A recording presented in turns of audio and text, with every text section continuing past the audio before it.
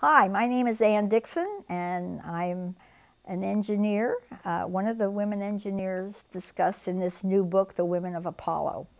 I had uh, grown up in New Jersey and moved to Southern California and accepted a job with the Apollo program in Downey, and then moved on to TRW to work on weapon systems when the Apollo program matured. But I never lost track of the people on the program, nor lost my dream of being a woman engineer, being an astronaut.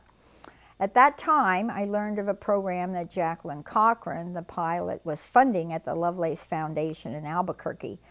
And uh, at that time, there were no women astronauts, and she was funding it to promote it.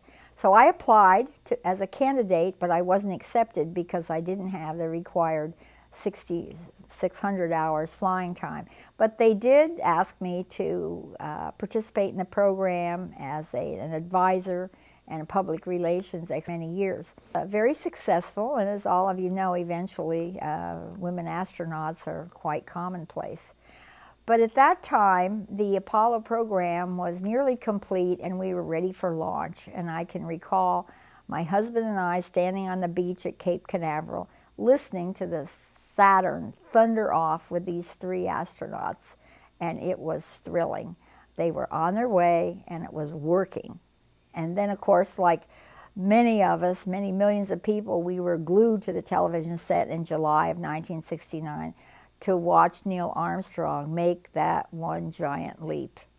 On from there, at the end of that year, we attended a banquet at the Century Plaza where President Nixon honored these three astronauts, Neil Armstrong, Buzz Aldrin, and Michael Collins.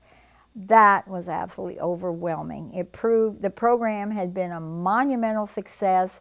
It had worked, the thousands of people working on it had made it happen, and I had been a part of it.